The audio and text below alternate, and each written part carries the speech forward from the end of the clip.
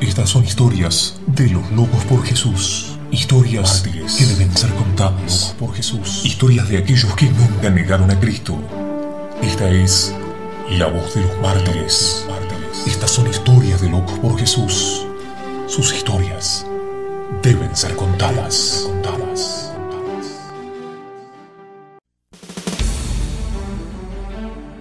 El día más feliz.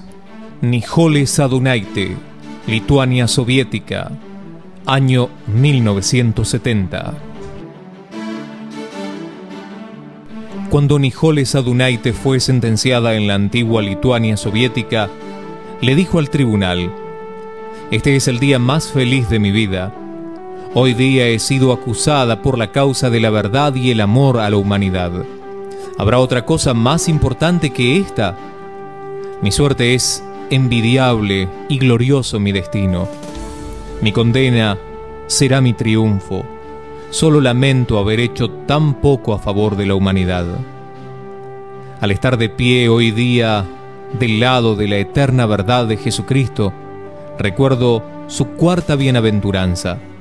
Bienaventurados los que tienen hambre y sed de justicia, porque ellos serán saciados.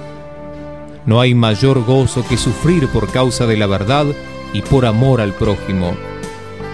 ¿Cómo no regocijarme cuando Dios Todopoderoso ha prometido que la luz conquistará las tinieblas y que la verdad prevalecerá sobre el error y la mentira?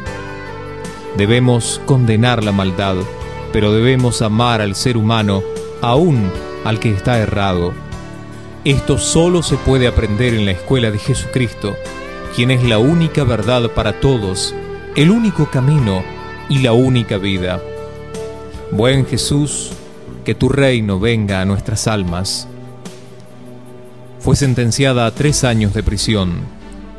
Después de su liberación, conoció al Papa en Roma y él le preguntó, ¿Cómo describes el tiempo que pasaste en la cárcel?